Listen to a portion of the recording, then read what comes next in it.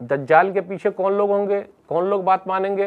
तो काफिर, मुनाफिक, फिर इसी तरीके से औरतें भी ज़्यादा तादाद में होंगी। हदीस के अंदर क्या आया?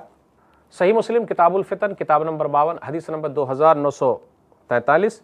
यखरुजो इलैहि कुल्लु काफिरिन व मुनाफिकिन। और दज्जाल की तरफ़ निकलने वालों में हर काफिर होगा और हर मुनाफिक होगा।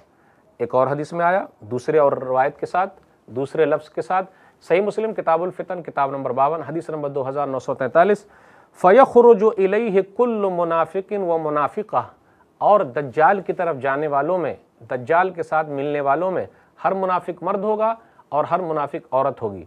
ऐसे ही और वीडियोस बनाने में हमारी मदद करें।